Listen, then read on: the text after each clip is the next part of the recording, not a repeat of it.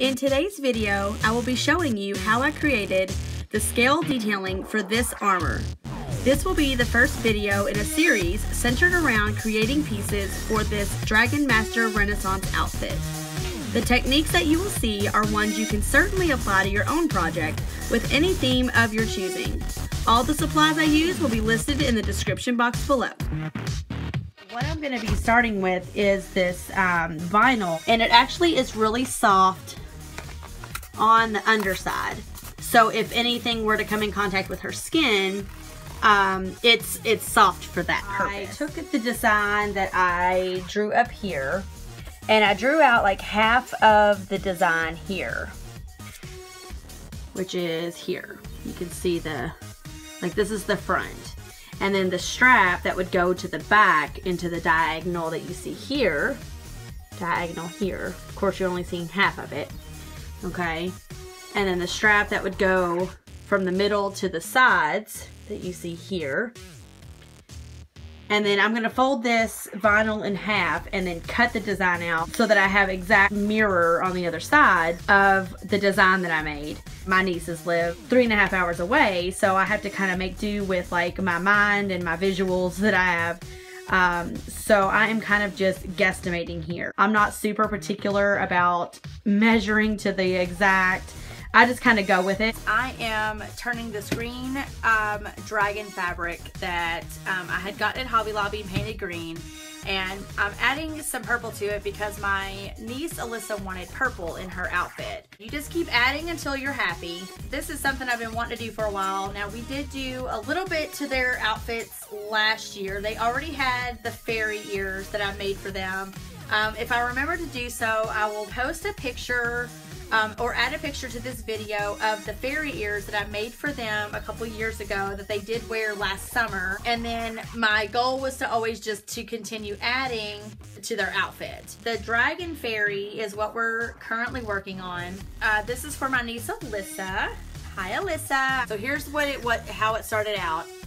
And then there is how it is in the purple color now. So I decided after I did the first layer of purple over top of the original green fabric, I decided that it wasn't purple enough. So that's what you see me doing here is just going back in and doing another layer of the purple to make it look more purple as opposed to like a brown, which is what it ended up looking like after the first layer. So as you guys can see here, this was one of the fabrics that I did with um, the lighter version of the purple.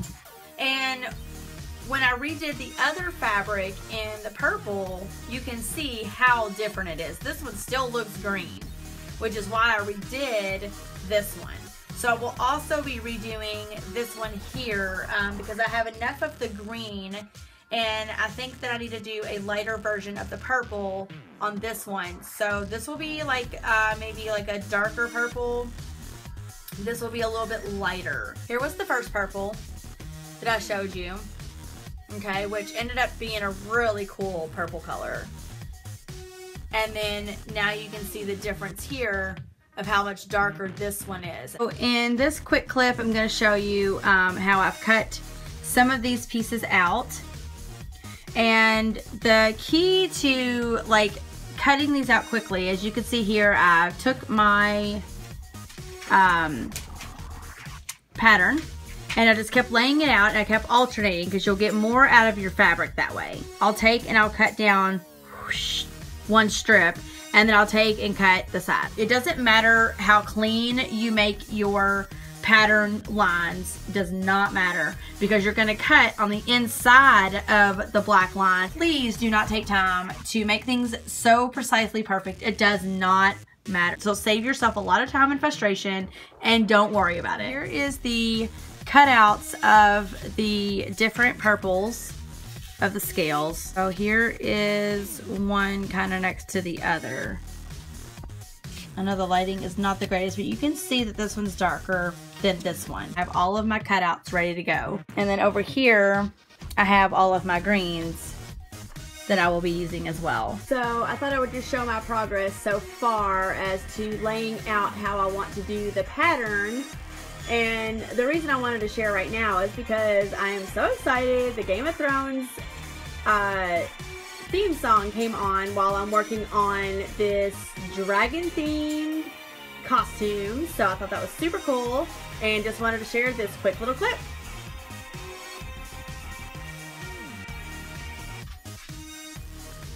So here I am gluing down all of my pieces with hot glue and I'm using or using a very little amount and I'm not doing the edges I'm kind of doing like more um, above the bottom point of the scale and then kind of um, at the top it doesn't really matter because you don't see it but I wanted to make sure that the piece is still kind of um, flipped up and had some texture to them. I did not want them completely flattened and glued down.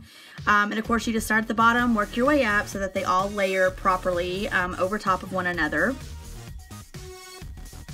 And I am referencing um, a picture that I took from when I did the first practice layout and I was really happy with it. So I just took a picture and then that's what I'm referencing here so that I can just kind of go through it quicker just pick my pieces and go and uh, you just go all the way to the top make sure all of your vinyl is covered and then you go back in later and trim up the pieces that you want to trim up so I left all of the um, points at the bottom piece of the front but then I trimmed up the sides and the top and then I cut down through the middle to create the two front pieces because again it's going to be laced together um, in the front center there so those did not actually end up staying all one solid piece in the front there. It did get cut through the middle.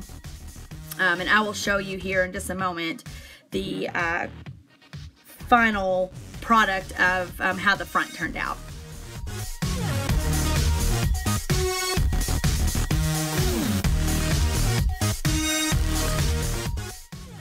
And here is the front. All the layers are finished up and I have it all trimmed up.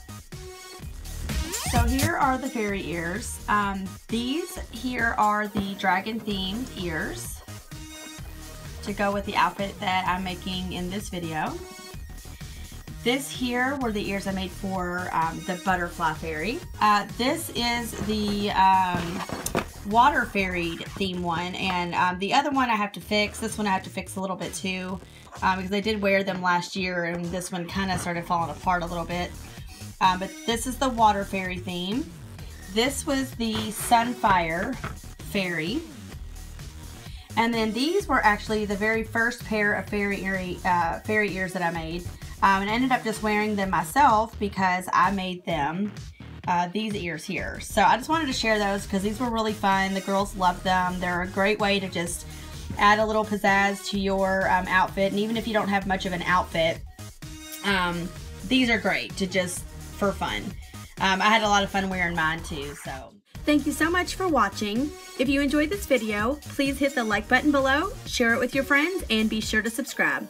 I post new videos on Tuesdays, so be sure to ring the bell so you'll be notified as soon as I upload. See you in the next video.